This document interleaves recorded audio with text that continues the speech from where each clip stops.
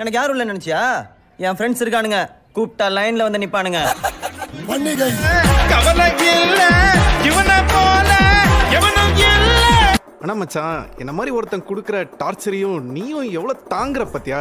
நீயும் வேற ஏதோ மச்சான். ஃப்ரெண்ட்ஷிப்பே தினம் உனக்காக பத்தி.